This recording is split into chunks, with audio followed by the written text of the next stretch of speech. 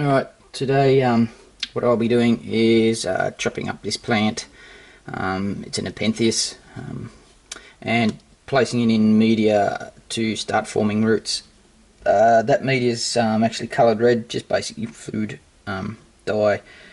So it identifies what uh, plant growth regulator I have in there. Um, it's IBA.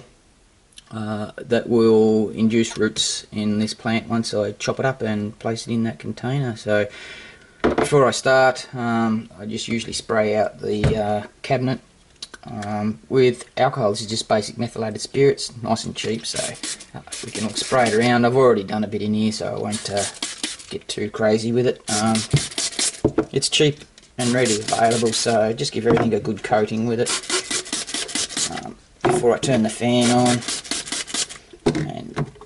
what I normally do is just give it a spray um, and let the whole cabinet um, sit for about 10 minutes. So once I finish spraying it, I've already sprayed the uh, um, forceps down and the scalpel um, and they're in there heating up to sterilise.